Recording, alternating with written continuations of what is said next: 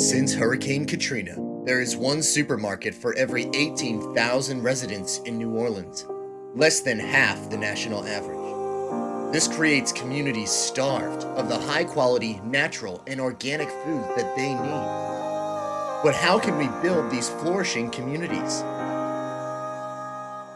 It all starts with planting a seed. The seed of people working together that sprouts whole homes. Those homes then grow into whole communities, through which we can harvest whole cities that can provide whole foods for everyone who needs them, regardless of where they live or how much money they make.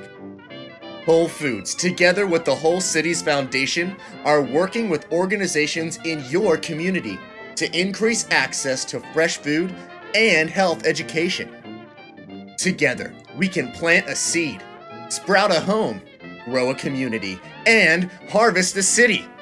So let's get going, New Orleans, and plant the seed of quality food in your city today.